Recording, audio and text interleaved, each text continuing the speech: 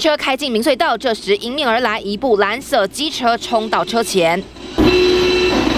急按喇叭，但已经来不及。摩托车卡进客运轮下，骑士喷飞十公尺远，鲜血直流。现场持续 CPR 急救，但这时机车骑士头颅破裂，满地鲜血。肇事的客运驾驶站在一旁关心。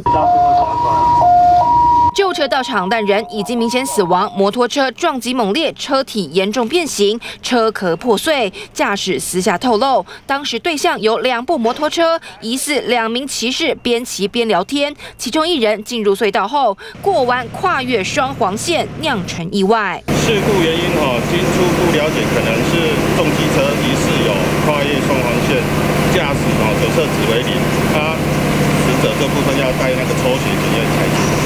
机车撞客运车，其实当场没了生命迹象。警方循着行车记录器发现，怀疑可能是机车骑士为了超车不慎冲到对向车道，是聊天分神还是超车不慎？警方将设法找出另一名骑士，还原车祸真相。记者彭志明、龚玉德、彭鑫苗栗报道。